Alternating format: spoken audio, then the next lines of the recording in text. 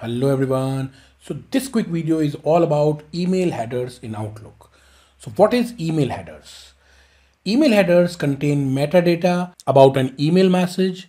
They provide technical details about the email origin, routing and delivery process. So I will install two methods how to view email headers in Outlook Classic. So first select your email. Now from your inbox, double click on your message to open in a full window. So I simply select this one. Now click on the file tab, which is available on the top left corner of your screen. So you need to click properties. So now property window is displayed and you can check the message header in the internet field of the message body. So here you will get all the necessary information like receive, email address, time.